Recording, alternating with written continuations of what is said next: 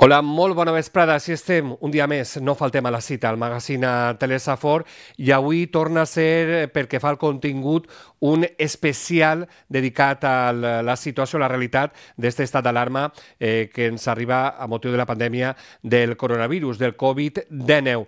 Avui anem a tocar tres àmbits diferents. Per una banda, el sanitari, perquè anem a parlar amb un metge de la UCI, de l'Hospital de Gandia, l'àmbit empresarial, perquè anem a entrevistar també al president de la Federació d'Associacions Empresarials de la Safor, president de funcions, i també anem en, en l'àmbit polític, perquè avui entrevistem a l'alcalde de Berreguard, Àlex Ruiz. Comencem per l'àmbit sanitari. Ja saben eh, que moltes mirades estan posades en aquest sector professional. Nosaltres volem eh, arreplegar el testimoni de quin és el dia a dia, eh, tant des de l'àmbit professional com personal, a través de la llarga experiència d'un metge de la UCI, metge intensivista, que és Manuel Solera. Manuel, buenas tardes. Hola, buenas tardes. ¿Qué tal? ¿Cómo estáis? Eh, muy bien, encantados de hablar contigo. Eh, antes sí. de nada, nos gustaría eh, sumarnos directamente, ya que te tenemos aquí, a esos aplausos, a esos agradecimientos que todos los vecinos y vecinas eh, demostramos cada día a las 8 de la tarde-noche desde nuestros balcones, pensando en personal eh, como puede ser de supermercados, de las fuerzas de seguridad del Estado, policía local, nacional y también el personal sanitario. Eh, supongo, Manuel, que mm, en la situación en la que trabajáis, que ahora hablaremos, estos agradecimientos son muy bien recibidos. Sí, sí, por supuesto, por supuesto. Nos llegan de toda la población y yo personalmente estoy muy contento de todos los agradecimientos que nos dais, porque creedme que estamos haciendo un esfuerzo pues eh, personal muy importante. Pensar que todos tenemos nosotros familias y estamos trabajando en un ámbito muy duro y unas exigencias superiores a las habituales. Sí. Entonces, eh, yo quiero poner en valor, si no te importa, quiero poner sí, sí, en valor claro. sobre todo a. Perdona, que la cámara a veces se va. Quiero mm. poner en valor sobre todo a, a la gente de. Eh, a mi personal, el personal de enfermería, que trabaja conmigo, auxiliares y celadores. Perdona, que, que se me va la cámara. Sí, tranquilo. Mientras no perdamos la conexión. Vale, pues eso. ¿eh? Y es el, el, valor sobre todo a la gente que trabaja conmigo, celadores, enfermeras, auxiliares y sobre todo la gente de limpieza también, que es poco reconocida porque hacen un valor increíble en los hospitales. Mm.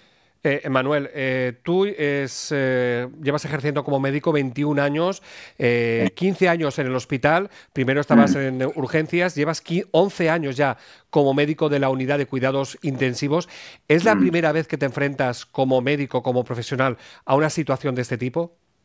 Sí, a este tipo sí. A un tipo de un pandemia yo creo que ni la gente que lleva más años en la unidad, yo eh, prácticamente las dos etapas de mi vida llevo 16 años trabajando en unidades de cuidados intensivos y desde luego nunca, nunca hemos vivido esta situación. Es una situación bastante especial. Tener en cuenta que nosotros en la UCI, que es un gran desconocido, que quiero poner en valor nuestra especialidad, eh, es desgraciado que tengamos estos tiempos para conocerla, pero hay gente que ha pasado, estamos acostumbrados a, a, a este tipo de, de, de actividad tan intensiva y con pacientes tan graves. Pero en este volumen pues eh, no estamos tan acostumbrados. Eh, es decir, estamos preparados, pero nunca hemos vivido esta situación. Es la primera sí. vez. Yo creo que no solo yo, sino la gente más vieja que yo, la primera vez que vive esto. Hmm. Eh, bueno, ayer conocimos, eh, Manuel, a través de, de, fuentes del Ayuntamiento de, de, Gandía, que en la UCI actualmente, que se ha restringido el área eh, exclusivamente para, para, personas afectadas por el coronavirus, hay siete, ayer había siete personas ingresadas, que las siete estaban intubadas. Claro, el día a día, eh, ¿cómo se afronta esa realidad? Supongo que es trabajar con si se pueden tener más o menos eh, eh, medidas de protección, pero no se puede evitar trabajar con miedo, ¿no? Porque es un poco desconocido todo. Hombre, a ver, el miedo, nosotros estamos preparados, porque ya os digo que nosotros, eh, en nuestro personal de enfermería, auxiliares como los médicos, estamos habituados a ese ámbito, es nuestro ámbito, sí. o sea, no es la primera vez que vemos este tipo de pacientes, ya lo vivimos en la gripe A, eh, ahora estamos viendo en este tipo de pandemia que a lo mejor pues, es más agresivo, más prolongada, pero estamos acostumbrados a ese ámbito. El problema, como siempre, es una reestructuración, porque nosotros no estamos acostumbrados a trabajar con pacientes tan infectados o tan contagiados, pues eso pues, siempre eh, hay que adaptarse los medios de trabajo a todo ese tipo de pacientes que eh, y que llevan una cantidad de cuidados enormes, enormes. Entonces, cuando eso lo multiplicas por muchos números, a pesar de yo que me consta los esfuerzos de la dirección de mi hospital por, por eh, dotarnos de personal, que me consta que lo están haciendo y, y, cuesta, ya os digo, cuesta bastante. Yo lo pongo en valor también a la dirección de mi hospital y a la consellería, porque lo, yo sé que esto no es una situación fácil, pues cuesta llevar este tipo de pacientes, es bastante costoso en tiempo y, y en espacio, porque aunque nuestra unidad es una unidad que ya la hemos reconvertido y la podemos seguir reconvirtiendo y, y haciendo más grande, eh, pues sí, eh, cuesta mucho, ¿eh? cuesta mm. mucho este tipo de enfermos. Mm. y además, Manuel, supongo ya desde el ámbito, em, desde el punto de vista personal, las relaciones personales. Estamos mm. hablando de la UCI, que por cierto decías que era un poco la, la, zona o el espacio desconocido de, del ámbito sanitario. Sí, sí, yo creo que es un espacio desconocido, sobre todo para la gente que, no lo ha vivido. tú puedes preguntar a la gente, no, a lo mejor no sabían que existe una especialidad de, medicina intensiva. Y sí, existe una especialidad de medicina intensiva que lleva cinco años de formación y que es bastante dura. Y también hay una especialidad, una, enfermería especializada de UCI. Y eso la gente pues no lo conocía y ahora lo conoce. Entonces son unidades eh, que ya te digo, estamos muy preparadas para este tipo de enfermos y es verdad que tenemos más volumen, pero como ves nos estamos reestructurando. Como cualquier unidad, todas me consta que se están reestructurando, no reinventando, sino reestructurando, de tal modo que estamos funcionando prácticamente ya como una unidad, lo que es la cuidados intensivos respiratoria. Y evidentemente tenemos otras unidades porque los demás enfermos se siguen poniendo enfermos malos, donde las destinamos a otra UCI, que es una UCI pues no tan respiratoria, sino más médica y limpia, no contaminada. Ah, eh, acabas de comentar, eh, médico intensivista es un departamento de, en, personal sanitario de la UCI eh, que estáis más que preparados, esos cinco o seis años que decías. Claro, es que os enfrentáis a situaciones extremas y esto lo relaciono, Manuel, con esas relaciones personales, claro. Llevar un poco, ser testigo de esas situaciones en que los familiares no pueden contactar, no pueden ver mm. ni siquiera dos minutos, que es lo habitual, mm. o mm. los minutos que sean eh, dos o tres veces al, durante el día, ni siquiera pueden entrar un minuto a ver a familiar. Ser testigo de esas situaciones, personalmente, ¿cómo se gestiona eso? Pues mira, personalmente es duro, porque yo tengo vivencias personales, yo soy originario de Madrid, tengo a mis padres malos también en Madrid, y ahora lo llevo un poquito peor, pero nosotros estamos habituados a eso. Es decir, nosotros qué hemos hecho, fijaros, hemos pasado de un proyecto que teníamos muy bonito en las UCIs, que no sé si lo conocéis, que de humanización de UCIs, es decir, UCIs a puertas abiertas, donde nuestros familiares no estaban unos minutos, estaban media hora, una hora con sus enfermos tres veces al día. Eh, eh, le habíamos dotado de tablets, de revistas, de biblioteca para los enfermos, a una UCI cerrada. Fijaros lo duro que es eso. Entonces, ¿qué estamos intentando hacer? Pues lo que hemos hecho es, como yo sí que velo por mis enfermos, estamos intentando hacer un listado de la gente con todos los teléfonos de los familiares y en el tiempo informa que nosotros podemos, los informamos telefónicamente a todos, entendiendo y poniéndonos en su pellejo porque es muy duro, es muy duro tener un familiar muy malito en la UCI, no poder ir a cogerle el brazo ni poder a verlo y tener que encima todo el contacto establecerlo por un teléfono que no, no deja de ser un medio bastante frío para hacerlo. Y para nosotros es duro tener que informar de esa manera por teléfono a la gente. Pero lo intentamos, intentamos cuidar sobre todo a esas familias que sabemos que lo estáis pasando mal. Pero también hay que intentar transmitiros el mensaje que nosotros somos un equipo muy formado y que estamos dándolo todo, quererme todo, todo, absolutamente todo, para que vuestros enfermos estén bien. Y de verdad, y todo lo que, vamos, lo, que podamos lo vamos a intentar. Mm. Eh, Manuel, cuando tú, tus compañeros, tus compañeras, acabáis el turno, llegáis a casa, eh, ¿cuál es la Ahí Ahí viene lo más duro. Yo estoy recluido en un sitio de mi casa, no puedo tocar a mis hijos, ni a mi mujer, ni a nada, y es duro, es muy duro. Créeme que es bastante duro. Y probablemente es lo que peor llevamos todo el personal sanitario. Pensar que hay gente que a lo mejor no te puede. Mi mujer, por ejemplo, sí que le ha hecho teletrabajo, está teniendo a mis hijos, está haciendo un, trabajo fantástico, formidable, que si no, no podría trabajar. Pero hay gente que no tiene ese apoyo, entonces lo están pasando mal. Esta gente que lo está pasando muy mal por eso, por el miedo que tenemos toda la población. Si al final no es que mate más una cosa que otra, sino simplemente es que esto pues impacta, impacta a todo el mundo. Nosotros también somos personas y cuando llegamos a casa pues lo pasamos mal evidentemente, como todos, cualquiera. Entonces estamos intentando aislarlo. Yo duermo la guardilla, o sea, estamos intentando aislarlos. tengo mi baño propio, intento separarme de mis hijos, pues, pues lo que hago, no vemos a, mis suegros, que son gente mayor, pues estamos haciendo lo que todos, quedarlos en casa y cuidarlos. Mm. Acabas de decir, estamos haciendo lo que hacen todos, quedarnos mm. en casa y cuidarnos. Supongo que ese mensaje como, eh, como médico de la UCI, como profesional sanitario, profesional de la mm. sanidad, eh, que quede bien claro, ¿no? Lanzar ese mensaje de eh, quedarse a casa y no hacer un abuso, por decirlo de alguna forma, de, la atención en los centros de salud, en los hospitales, para que la gestión que se puede hacer, la situación ya es límite, no sobrecargar, sobresaturar, ¿no? Mm, exactamente, lo que tenemos que hacer es intentar, exacto, quedarnos en casa y, oye, si estamos malos, podemos coger un teléfono, hablar con nuestros centros de primaria que los tenemos disponibles y si hace falta ir al hospital, os lo puedo asegurar que mi hospital ha reestructurado también su área de urgencia, que también están haciendo un trabajo fantástico en zonas limpias, zonas sucias, para poder atender a ese tipo de enfermos, porque a mí eso sí que me preocupa. Me ocupa la gente que hoy en día se puede quedar sin asistencia sanitaria por no poder ir al hospital y me preocupa mucho esa gente porque el resto de la población nos seguimos poniendo malos, este, seguimos existiendo. Entonces, quiero que esa gente esté bien atendida. Y por eso hay que salir, como bien has dicho, lo que necesitemos. Nos van a atender, seguro, pero si no lo necesitamos, quedémonos en casa, porque si quedamos en casa nos cuidamos todos. Y que para eso estamos nosotros. Nosotros somos los que vamos a salir en casa por vosotros. Mm. Ese es el mensaje. Manuel, nos quedamos con ese mensaje. Manuel Solera, mm. eh, médico de la UCI del Hospital Francés de Borja de, Gandía, te agradecemos y mucho, en nombre de todo el equipo, eh, que hayas permitido que podamos entrar en, tu buhardilla, como acabas de decir, mm. en tu casa, eh, pero era, nos sentíamos obligados de hacernos eco de, este testimonio a través de, ti, que simbolizas, podríamos decir, eh, el esfuerzo que estáis realizando todo el personal sanitario y decimos todo el personal que trabaja en centros de salud y en hospitales, todo ese esfuerzo que y, a lo que os estáis exponiendo por ayudar a otras personas.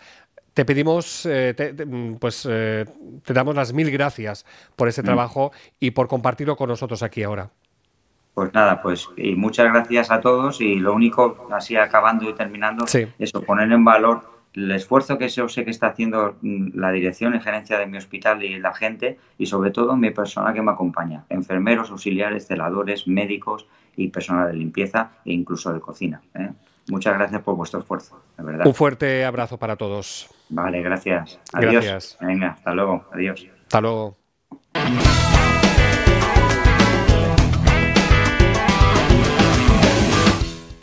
Seguim nosaltres en este nou magazín a Telesafor. Continuem parlant, podríem dir, magazín especial coronavirus, el Covid-19. I és que, eh, ja saben, el teixit empresarial el de la nostra comarca, per suposar, també s'ha vist afectat de ple per aquesta realitat, per aquesta pandèmia de, del coronavirus que ens ha dut a, esta, a aquest estat d'alarma. I nosaltres volem parlar ara, entrevistar al president en funcions de FAES, la Federació d'Associacions d'Empresaris de la nostra comarca, Juan Pablo Tur. Juan Pablo, molt bona vesprada.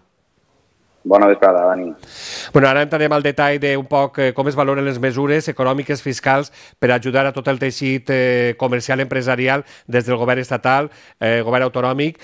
Per una primera pregunta, Juan Pablo, seria, eh, supose que des d'aquesta responsabilitat empresarial eh, també llançar un missatge al conjunt de la ciutadania, no?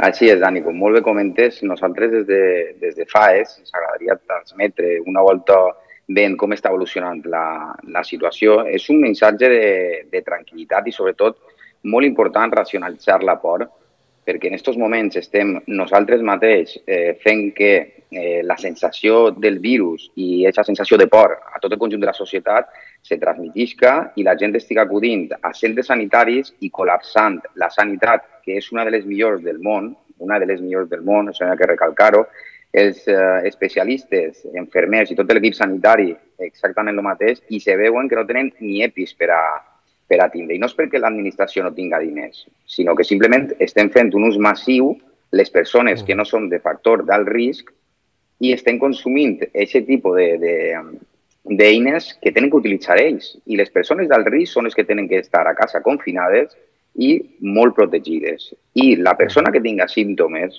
per favor, eh, no té que acudir a l'hospital, sinó d'alt risc, perquè és que des de eh, l'Hospital Sant Francesc de Borja i diferents eh, autoritats sanitàries, hospitaleres, és que estan desbordats. Sí. Estan desbordats i no només tenim coronavirus.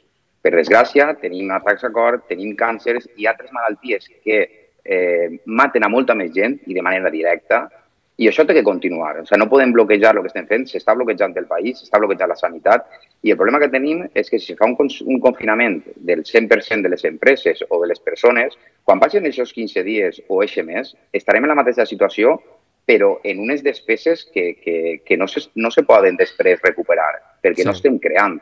És a dir, no és perquè les empreses vulguin fer-se riques ni molt menys eh, en conseqüència de, de la salut dels treballadors, ni molt menys. O sigui, el primer que fer és nosaltres, com a, en l'empresa eh, pròpiament, les persones del risc, el que hem fet ha sigut ficar-les a casa, és a dir, en quarantena. Per què? Si són majors de 60 anys, eh, tenen dones en estado o eh, ells tenen pues, qualsevol patologia crònica. Per supost que aquestes persones tenen que estar a casa, però les mm. demés tenim que anar a treballar i com bé dia molt bé l'altre dia vam estar en un, en un programa i Alfredo Cortell, psiquiatra, que era el jefe de psiquiatria de, de l'hospital, Francesc de Borja, comentava que tenim que vèncer a la por. Nosaltres sí. no estem a mercè del virus, és tot el contrari. No mm. podem anar eh, en eixa por i, i a, part, a part que la por crea una, un, una mala recepció en, en el cos humà. És a dir, som més vulnerables. És a dir, estem fent tot el contrari que hauríem fer. I això és una sí. cosa que volem remarcar perquè com tenim contacte en, uh, en sanitaris i científics i el que són experts. O sigui, tot el món ara som experts en virus. Tots som viròlogos, tots, tots saben gestionar crisis mundials, tots saben fer de tot. Pues no, per favor. O sea, és que és una cosa que, que al final nosaltres estem fent molt més mal. Mm. Eh, Juan Pablo, eh, des de FAES s'ha fet una crida per les xarxes socials eh, precisament per ajudar a aquests sectors de professionals com pugui ser el sanitari que estan patint aquesta mancança de, de recursos eh, materials, eh, fer una crida als, als diferents empresaris, empreses, per a que, si és el cas, que ajuden no?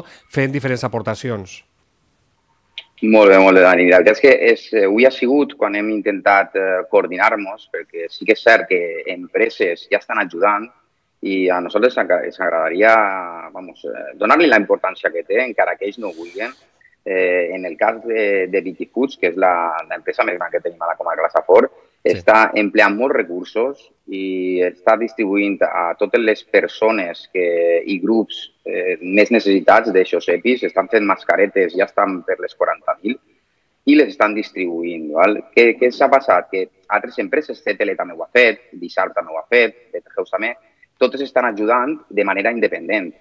Ara el que volem fer és, des de FAES, és coordinar i gestionar totes aquestes ajudes i a partir d'ahir, en totes les associacions pues, eh, que arriben a tots els col·lectius, sobretot els col·lectius que més necessitat tenen, eh, no són els treballadors de les empreses. Nosaltres estem ara treballant i jo als treballadors dic que, que el que tenen que fer és guardar les distàncies de seguretat i la mascareta no la tenen que portar tot el rato ficada, perquè ells quan tenen, eh, s'embruta i tenen més grip. ¿vale?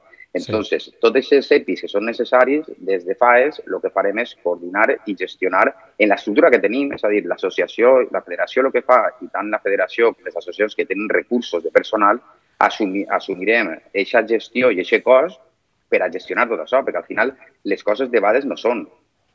No són, sí. i les empreses doncs, com són Biggie Foods, també a Upauar, de, de Ramon Soler, que estan donant molt de, molta tela per a fer bates, mascaretes i demés, eh, arriba un punt que no poden assumir-ho. I tots mm. tenim que col·laborar, però quan dic tots no són totes les empreses només. Les persones, tots els ciutadans, està clar que tenim una crisi, però és com el tema del Domun. Jo comentava abans en el grup de FAES.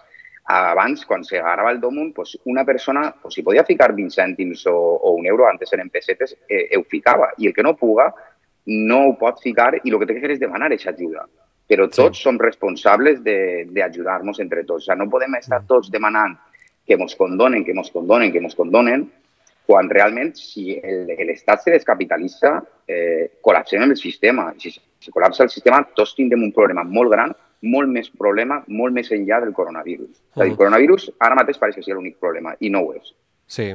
Eh, Juan Pablo, eh, mm, tu com a empresari i com a president en funcions de FAES, de la federació que aglutina al teixit empresarial de la nostra comarca, suposo que serà realment conscient, eh, sobretot com a empresari, d'aquesta incertesa que afecta al vostre sector davant d'esta realitat, ja no només eh, pel que fa a, les, a, les, a la qüestió higiènico-sanitària, la salut, sinó també a aquesta vessant econòmica, eh, suposa que molta, molta incertesa, molts dubtes entre, entre els empresaris, que mm, i també un poc en relació a això, com es valora el paquet de mesures que, que van presentant-se des de les diferents eh, administracions per a intentar ajudar l'empresari en aquesta situació.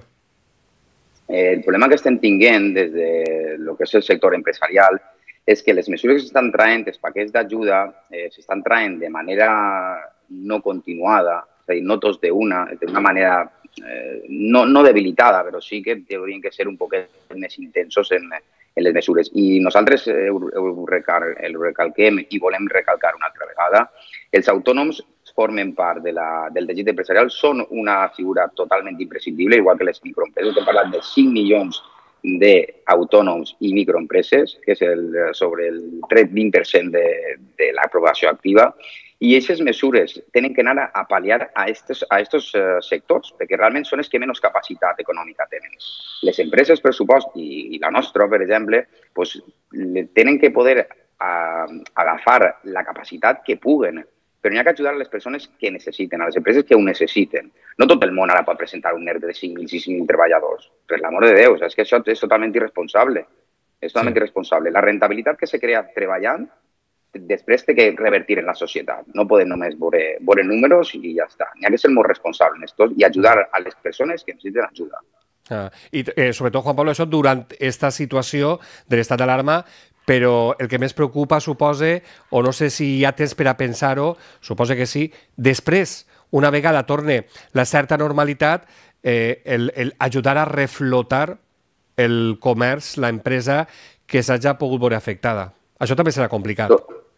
Totalment, totalment d'acord i importantíssim. Imagineu-se que sou propietaris ara mateix d'un negoci de restauració, quan se dona, s'acaba, entre cometes, la situació d'alarma, que, que la situació d'alarma eh, per a l'Estat s'haurà acabat, però per la societat estarà totalment eh, interioritzada, qui té que anar a un bar? O sigui, com ho fem si ara tenim por de fer-ho tot? Això no ho podem fer-ho. Nosaltres el que tenim que fer és manejar l'economia i l'economia la manegem és ciutadans, no, no els polítics ni, ni ajudes ni més, som nosaltres. I el que hem de fer és promocionar, per supost, el nostre, el nostre comerç, els nostres hotels, els nostres restaurants i totes les empreses.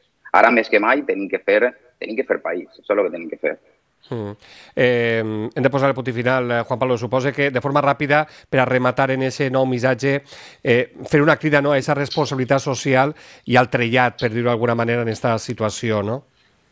Sí, sí, per resumir, responsabilitat social, racionalitzar l'aport, que no és obviar-lo, molt important, i les empreses i persones que vulguin i puguen ajudar, que vulguin i puguen, que, se, que contacten directament des de la web de FAES, hi haurà allí eh, correus electrònics i número de compte i el 100% que, que es recauden hi ha ajudes, 100%. L'estructura de, de la nostra federació i les nostres associacions són les que assumiran aquesta gestió, perquè malauradament no tot el món eh, pot treballar de vegades però hi ha que ajudar. El més important és ajudar-nos entre tots i ho mm. traurem, per supost que sí. Així és, ho traurem, eh, més pront o més, més tard, però ho traurem eh, i mentrestant anem a ser responsables eh, de forma individual i de forma col·lectiva i esperem eh, que aquestes mesures, aquestes ajudes que necessita el teixit empresarial, el teixit comercial, eh, com és el de, el de la nostra comarca, que està representada a través de, de FAES, eh, pues tinga el que necessita per a passar aquesta situació i que els efectes siguin els menors possibles i que tot torna, torni a la normalitat. Juan Pablo Tur, com a president en funcions de FAES, moltíssimes gràcies per atendre'ns. Gràcies, gràcies a vosaltres perquè feu una feina molt, molt important i donar-nos veu que al fi a la cap és el que, el que tenim que fer, comunicar, comunicar i comunicar sempre des d'un punt de vista objectiu i positiu. Mm. Una abraçada i a cuidar-se. Igualment, Dani, un abraç a tot l'equip. Adeu, Juan Pablo. Nosaltres seguim Adeu. perquè ens queda un contingut. Ara anem a veure i escoltar eh, l'entrevista que el nostre company Enrique Bodí eh, ha realitzat a, una, a un altre alcalde de la nostra comarca, en aquest cas l'alcalde de Berreguart, Àlex Ruiz. Veiem i escoltem.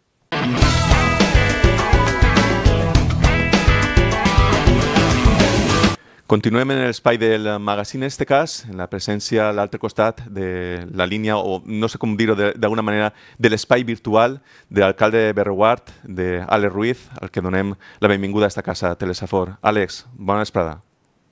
Hola, bona vesprada, Enrique. Moltes gràcies per estar ahí. Àlex, evidentment estem parlant d'una situació excepcional, eh, les mesures també de prevenció també són extraordinàries i, com no, eh, per això este, esta entrevista que estem mantenint per este mitjà tan fabulós que pareix que d'alguna manera alguns es hem posat les piles per intentar eh, estar a l'altura de, de les circumstàncies i poder tindre una relació fluida sense necessitat d'estar eh, cara a cara i el perill que això comporta. En qualsevol cas, eh, alcalde, és evident, és necessari comentar eh, com està la situació en el cas de, de Berguard. Primer que res, ens centrem a nivell de sancions i possibles incidències que s'hagin eh, pogut produir en la població en els darrers dies. A veure, jo en primer lloc voldria manifestar la absoluta responsabilitat amb la qual està actuant la ciutadania de Berreguard. Els eh, problemes, la veritat és que no estan sent molt importants ni molt elevats. La gent s'està comportant eh, extraordinàriament bé i més en aquesta situació eh, d'angoixa col·lectiva que estem vivint i eh, en el mateix ordre pues, eh, estan les sancions. No? Fins ara eh, s'han produït o s'han posat eh, tan sols sis sancions i, a més a més, vull manifestar que casualment aquestes eh, sancions no han estat a gent de Birreguard, sinó gent d'altres pobles que estaven així eh, bàsicament passejant. Uh -huh. Alcalde, al respecte de, evidentment, estan ja sentint-se eh, algunes qüestions per intentar pal·liar esta, esta situació i tota la, la conseqüència que comporta a nivell econòmic. A nivell municipal, que és el que es tracta en, en esta entrevista, es comenta ja alguns ajuntaments estan adoptant mesures com, per exemple, plantegen l'eliminació o almenys aplaçament del tema de, de l'IBI i altres impostos eh, locals. A nivell eh, municipal, en Berreguard, com veu la situació, Àlex? Sí, exactament. Nosaltres també hem plantejat, tant des del govern municipal com des del partit de l'oposició, el Partit Popular, hem plantejat una sèrie de, de qüestions consensuades i reals i realistes que podem fer a nivell municipal a banda d'aquelles qüestions que ja contempla el, el Real Decret per a, per a este tipus de mesures. No? Nosaltres hem, hem, anem a ampliar el període de voluntària de totes aquell, aquelles exaccions i impostos municipals. També es tornarà, eh, per exemple, les tasses de, de l'escoleta municipal o els, pre, els preus públics de l'escola permanent d'adults, perquè, òbviament, és una activitat que no poden realitzar per imperatiu legal, no? per la resolució de la Conselleria.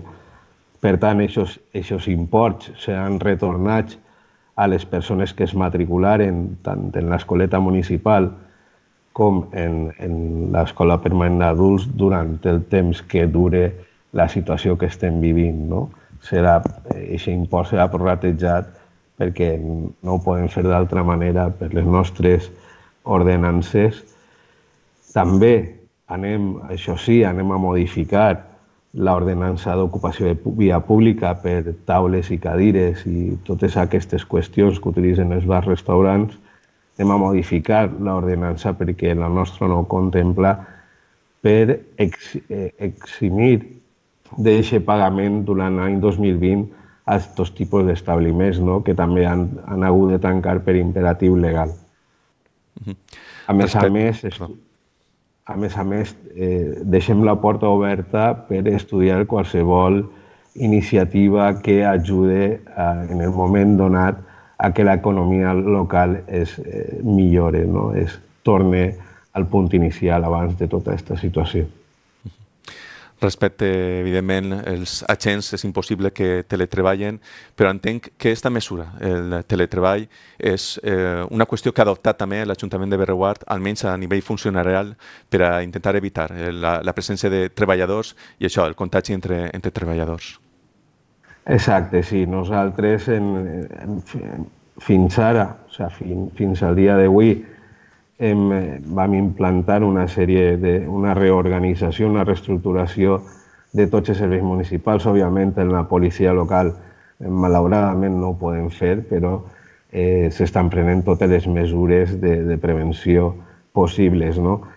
Eh, fins ara el personal funcionari i el personal de serveis municipals eh, s'han reestructurat en, en dos torns. La, la setmana passada estava treballant a serveis municipals un torn de treballadors municipals, l'altre torn estava a casa. En quant al funcionariat, eh, estan uns, la meitat del funcionariat un dia a l'Ajuntament i l'altre dia teletreballant i es canvien perquè, òbviament, havien d'atendre totes aquelles qüestions que teníem obertes no? I, i prendre les mesures que calguera prendre davant d'aquesta situació. A partir eh, de dilluns i davant de l'anunci de, de la proposta del president del govern espanyol de prorrogar aquest estat d'alarma, eh, hem reestructurat de nou aquests torns i els serveis municipals, en comptes de, de dos torns, ara hem fet tres torns i eh, n'hi haurà personal que estarà 15 dies a casa i una setmana treballant. O sigui, tot el personal estarà 15 dies a casa i una setmana treballant. Hem reduït al mínim possible el nombre de treballadors per eh, garantir o exposar-los el mínim i perquè també hem de, de prestar aquests serveis bàsics que, que de neteja, sobretot, que tenim a, a la població. En quant al funcionariat, eh, s'ha reduït a un funcionari de matí i, un, i perdó, a dos funcionaris cada dia que aniran rotant i el resto estarà a casa teletreballant. Comentava l'alcalde precisament el, el tema de la neteja. Eh, com està portant-se a terme este operatiu? En referís, quin tipus de substàncies utilitzen? És lleixiu? Què, què, què exactament, com, eh, i en quines zones estan actuant eh, per al que és la neteja de l'espai municipal, eh, del que és la població? Eh, són virucides, no? són virucides que venen recomanats pel, pel Ministeri.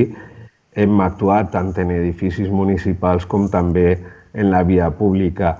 A, a més a més, per reforçar els serveis municipals s'han contractat empreses externes perquè sobretot ens ajuden a la desinfecció de les vies públiques respecte al que són eh, mesures de protecció eh, més enllà del tema del teletreball, sobretot en referís ja a, a gent com per exemple puguen ser els, els agents. Eh, la qüestió de si han tingut algun tipus de dificultat, entenc que sí, però eh, per accedir a aquest material, mascaretes sobretot i el tema de guants. Aquestes dificultats s'han pogut suplir, van comprar aquest material abans de que arribara diguem, la crisi plena. Com, com va ser la cosa, Àlex? Eh, sí, a veure, nosaltres teníem material, però evidentment no teníem tot el material. Ha estat molt complicat poder aconseguir aquests EPIs, no? de...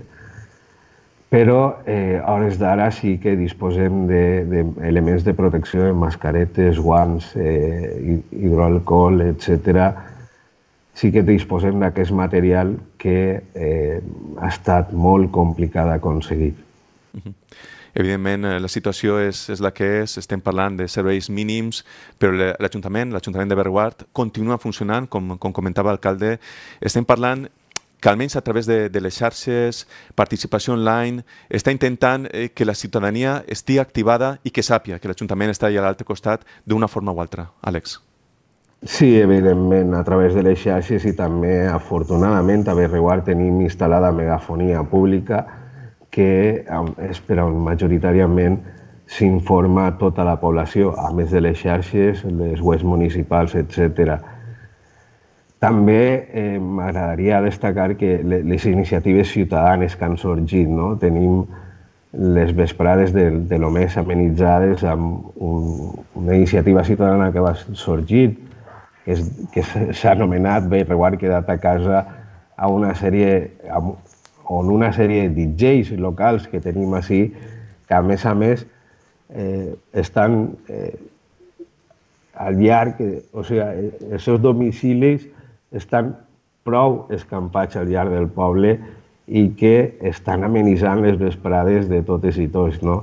Una qüestió que m'agradaria agrair i que també, eh, perquè també ens ha arribat que, que n'hi ha persones que pues, bueno, eh, en certa manera es puga molestar eh, esta música, la via pública, pues que s'entenga la situació no? i que aquesta eh, iniciativa bonica, ciutadana, el que intenta és fer-nos més agradable les estades a casa, no?